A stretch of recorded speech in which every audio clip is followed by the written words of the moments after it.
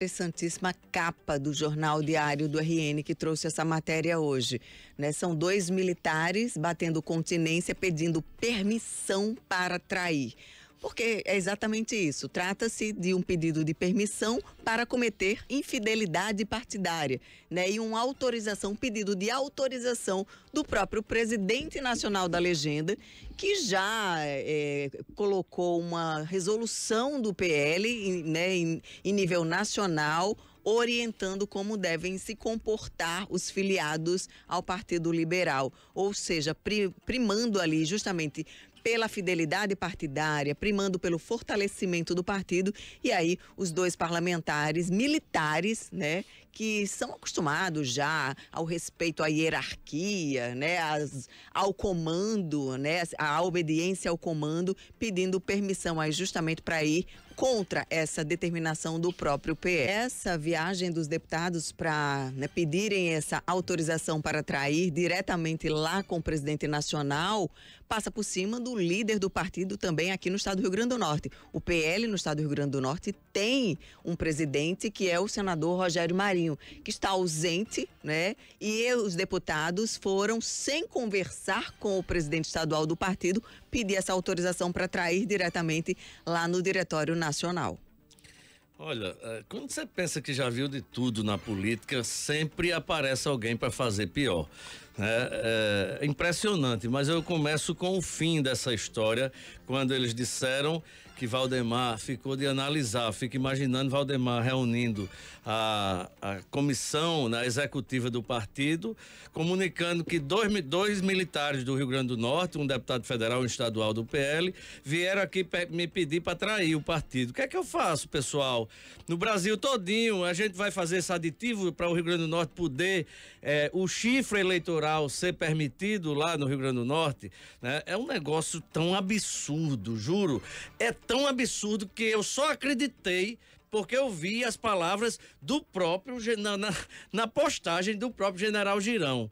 É um negócio assim fora de qualquer é, é, possibilidade de razão, de lógica, de respeito às instâncias partidárias. São dois militares que saíram daqui para pedir para trair seu próprio partido. É um negócio tão absurdo, independente de qual partido seja. Mas no caso deles e no caso do PL, que preza tanto pela essa questão, no caso deles, pelo fato de ser militar, né, o respeito à hierarquia, o fortalecimento, é, o que vem de lá de cima tem que ser cumprido, saem daqui. Eu não acredito que Azevedo usou dinheiro público para sair do Rio Grande do Norte para pedir uma, uma autorização para ser traidor do PL lá em Brasília. Girão não, porque já estava lá, né? Eu fico impressionado com uma situação como essa. Dois deputados se passam por um papel patético, ridículo, desrespeitoso ao seu próprio partido, porque é o pedido, no caso militar, né? Permissão para trair.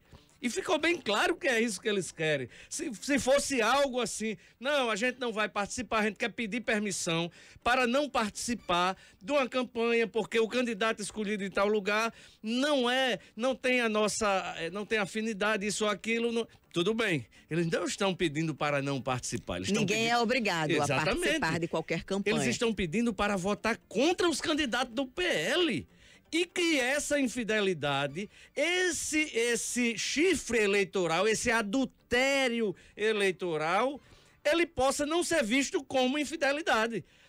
O negócio é tão absurdo nesse aspecto que eles ainda têm a cara de pau de pedir a Valdemar, nós vamos trair. Mas veja se fica de um jeito que não pareça infidelidade ou que não tenha nenhum tipo de punição.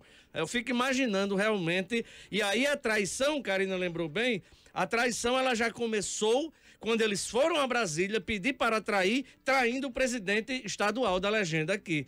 O senador Rogério Marinho foi traído já né? Na medida em que eles foram atropelando a liderança estadual, o comando partidário do qual eles são filiados, para ir direto para Valdemar Costa Neto pedir para trair. Então, uma traição já está configurada. Agora a outra é aguardar, né, que Valdemar ficou de fazer essa é o aditivo aditivo da traição. É um negócio que eu acho que se a, a, a mídia nacional pegar um, uma situação como essa vai virar ridículo, fora outros adjetivos que vão estabelecer aí para os dois militares. Um coronel e o outro general, pedindo para trair.